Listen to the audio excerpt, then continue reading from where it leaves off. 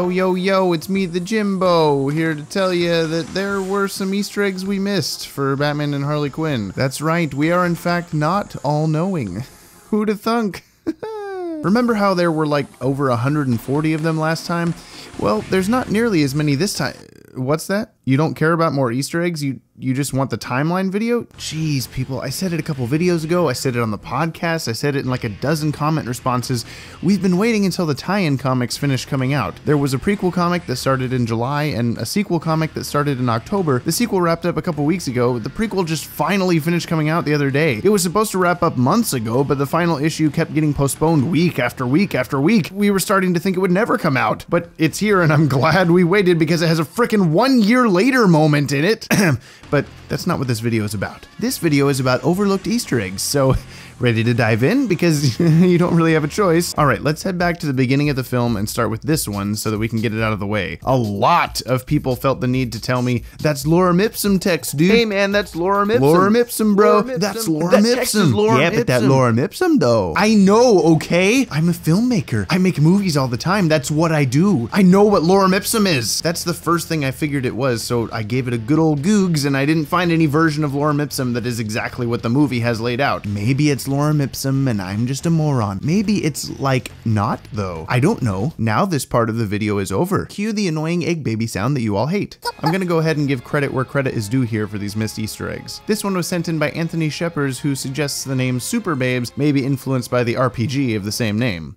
No, not that kind of RPG. No, that's RGB. That's RDJ. RNB. Who the hell is editing this anyway? Wait, it's me. Why am I doing this? This isn't even that funny. The Super Babes RPG was based on characters from AC Comics' FemForce title, one of the first all-female superhero teams in comic books. Of course, the characters in this game were all overly busty, scantily clad superwomen, so the name certainly fits. I looked up the game to figure out how it's played, but honestly, I don't have the time to explain it to you, so just Google Super Babes RPG if you if you want to know more. These couple of peeps have pointed out that the wall art inside the restaurant, despite being weirdly inaccurate, damn it, I hate that Hal Jordan one so much. They're based directly on 1970s DC Comics merchandise, like these exact poses and costumes and everything. So that's cool. They still look really out of place in the DCAU, but then so do like 20 other things in this movie, but I mean, who's counting? We pointed out before that this guy Harley passes on the street appeared in the Batman episode Harley and Ivy, but according to the user The Random Bats, and accurately so,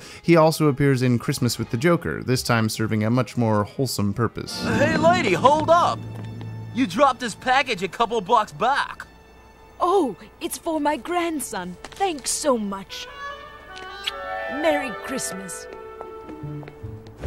Now can we go home? Ah, man, that reminds me.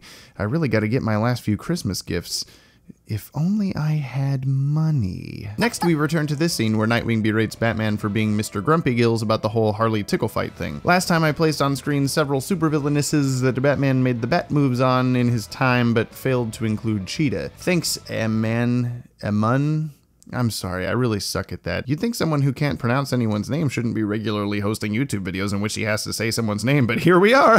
Heading over to the henchman bar, there were a handful I couldn't identify before. First off, I now realize that this guy is Muggsy of the duo Muggsy and Rhino. It threw me off that Rhino's just walking around without Muggsy since the pair are usually inseparable, but I'm like 99% sure that's him. The cheekbones, the hair, the hat, it all adds up. And let me just remind everyone that I found that one. Me. I didn't need anyone else's help, not like in the case of this blonde girl here who we saw in Two-Face Part 1. Thanks, X6 Silent Treatment X6. Wait, Silent Treatment? Cylon treatment? Cylon treatment? Sounds painful. And this redhead chick here is, I guess, supposed to be based on a character from the 60s Batman show, Molly, according to these fine human beings. This next one, I honestly can't believe I missed. Dishonor on me, dishonor on my cow. These commenters kindly point out that when Batman gets the call from Booster Gold in the Batmobile, the frickin' ringtone is the Justice League Unlimited theme song. Here, listen.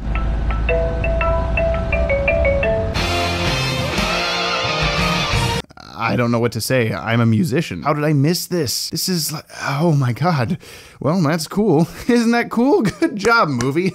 Good job. And finally, we come to the post-credit scene. Here, Harley has established herself as a talk show host, but makes a jokey reference to herself by saying, I'm a regular Dr. Quinn medicine person, ain't I? Unbeknownst to little baby James over here, Dr. Quinn Medicine Woman was a TV show that ran from 1993 to 1998, starring Jane Seymour, who also played Genevieve Teague on Smallville. Thanks, Seaside Detective 2. Do, uh, do you live in Seaside, Oregon? Because I grew up in Astoria. I really need to know this answer now. Also, same scene, our pal Jordan reminds me that Harleen Quinzel was actually a talk show psychiatrist in the The Batman cartoon prior to becoming Harley Quinn in that universe. I don't know if this scene is a direct reference to that or just coincidence, but her debut episode on that cartoon was written by Paul Dini, and then the Batman and Harley Quinn movie was. Oh, wait, that's right. Paul Dini had nothing to do with this movie. That's why it's so awful. One last thing people have been pointing out to us as an Easter egg is the fact that Swamp Thing has an almost identical face design to Old Man Wayne on Batman Beyond. I mean, I guess, but everyone's stupid face in this art style looks pretty much the same. Do I look like Batman to you? Actually, you kinda do. Especially when you're all scally like that. Swamp Thing just looks like Swamp Thing. Except this Swamp Thing looking guy from Comfort and Joy now doesn't really look like him. Is this not him anymore? Was it ever? Ah, oh boy. Back to the drawing board. Did you hear that? It's the distant giddy cries of excited legacies of the DCAU fans hearing me say I was going to draw. Keep your pants on, people. The new issue's coming soonish. Let me have my Christmas. I'm sure there's more Easter eggs we missed, but there you go. This brings our total number to...